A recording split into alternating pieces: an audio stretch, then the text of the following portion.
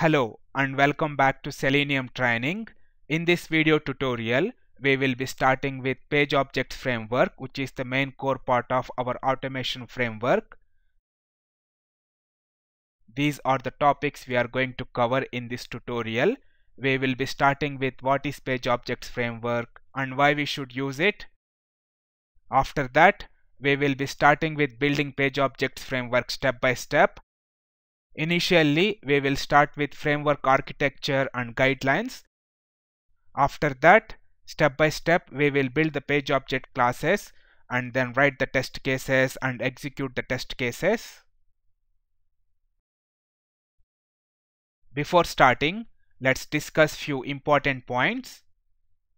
Make sure that you have gone through all previous chapters and gained very good technical knowledge and experience of all previous chapters. Now we are starting with automation framework concepts and we will be using most of the topics covered in previous chapters. So make sure that you have gone through all previous chapters and it makes easy for you to understand automation framework concepts. Especially you should have gone through Selenium WebDriver, Java, TestNG and ANT tutorials very well. Going further, we will first start with Page Objects Framework after that we will look at other frameworks like data driven framework and hybrid automation framework. Page Objects framework is the main core part of the automation framework and it sets the base for your automation. I would recommend starting with Page Objects framework when you are starting to develop automation framework for your web application. Now let's discuss what is automation framework briefly. Most of the times people get confused what is automation framework or they have a question about what is automation framework. It is very simple to answer the question and a bit hard and technical to build the automation framework. Automation framework is nothing but a set of best practices and guidelines or rules that works well for your automation. Basically, you define a set of best practices and guidelines for your automation so that they make your automation easy to use for you or your colleagues or anyone who is going to work in future then easy to maintain whenever there are changes to the application or whenever you want to add the new stuff to the automation. It should be easy to add and maintain over the time. Easy to understand. Make sure your automation is very well organized and structured so that it is easy to start and work with then finally less complex. You should always try to make your automation less complex. These are the reasons why we should have a very good automation framework in place. Going further, you need to pay a lot of attention and make sure you understand each concept very well. As I said earlier, things will be very technical, so you should pay a lot of attention to understand them. Repeat videos multiple times if required. And also whenever you complete a topic, practice immediately. By doing this, it will be a very effective learning and you can learn very quickly.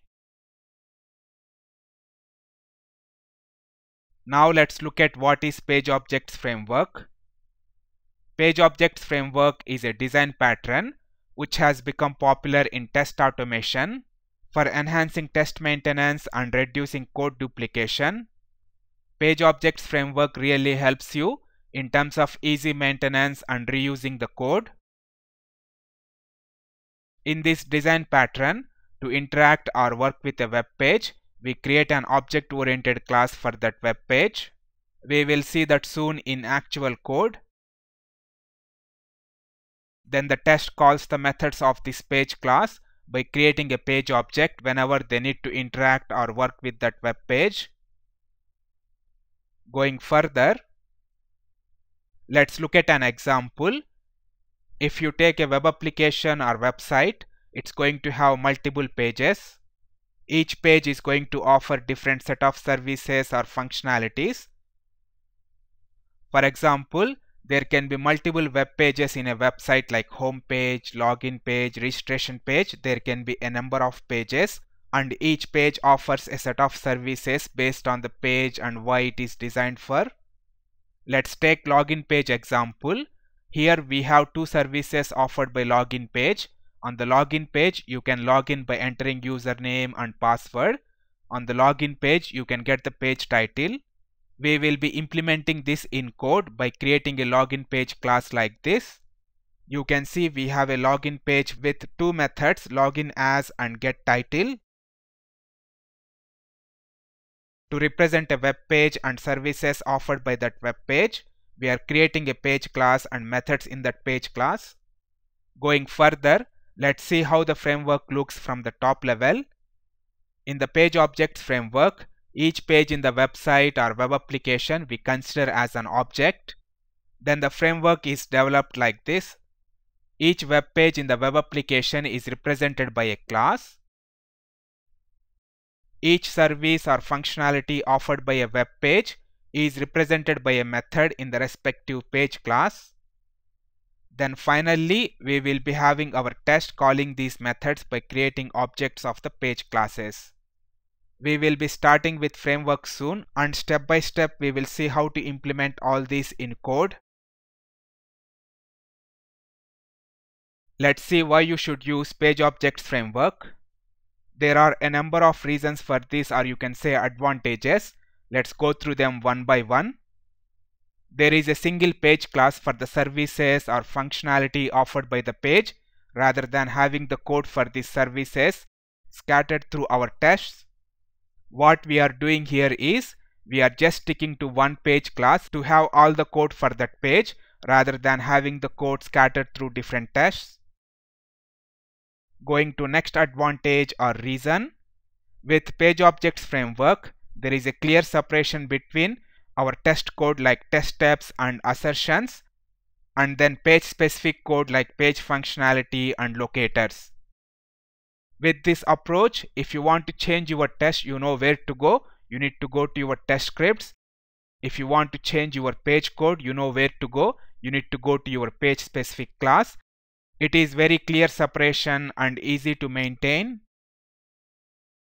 Going further, if there are UI changes for the page, only code within the page class needs to be changed and our tests don't need to change.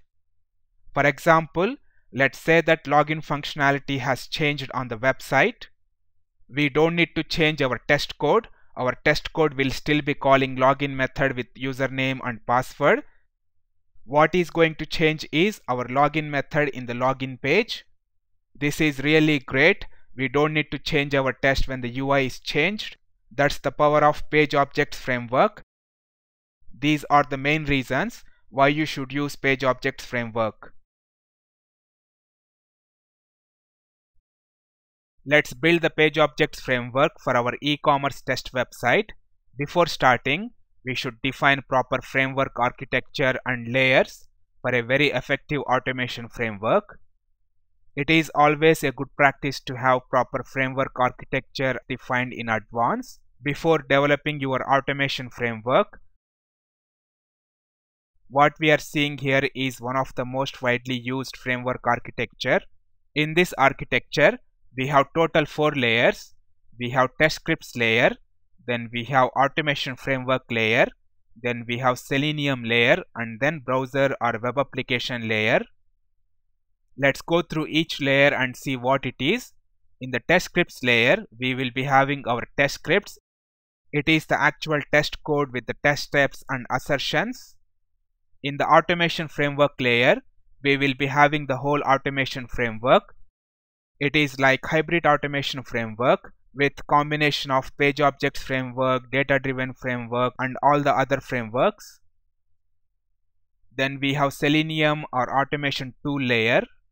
This layer represents our automation tool that we are using to drive our application in our case this is selenium after that we have our actual application in our case it is our web application with this architecture test scripts depends upon automation framework automation framework uses selenium then selenium drives the browser or our web application each layer has its own specific tasks with this architecture make sure that Test scripts don't directly use Selenium or web application. all the calls to Selenium or web application from test scripts, they should go through automation framework. For example, in future, if we are going to use a different automation tool, we just need to change this interface, the interface between automation framework and Selenium. We don't need to change this interface. Our test scripts or calls to automation framework, they don't need to change. So this is the architecture we are going to follow in our automation. We will be having our test scripts calling the automation framework. Our automation framework uses Selenium and then Selenium drives the browser or our web application.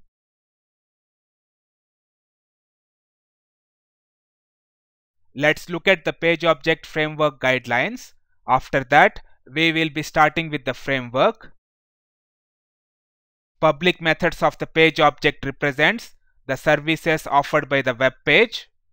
Whatever services or functionality offered by the web page, there should be respective public methods for those in the page object. For example, login method from login page class, it should be a public method. Going to next guideline, try not to expose the internal details of the page whatever internal details of the page that you don't need to know as a tester, try not to expose them. For example, internal details like web elements or WebDriver driving the page, we don't need to know them outside of the class, so don't make them public. Page object should never make any verifications or assertions. This should be done in your tests. By doing this, we are making sure that there is clear separation of our test code and page specific code. Going further, page object methods should return other page objects on navigation to those other pages. For example, let's say that when you log in you are going to welcome page, then login as method should return welcome page object. Whenever you are navigating to a different page as a result of a method, the method should return the new page object. Finally, we write the framework only once, but we write multiple tests using the framework. So make sure that framework is making tests easy to write. We will implement all these guidelines and see them in action in the framework.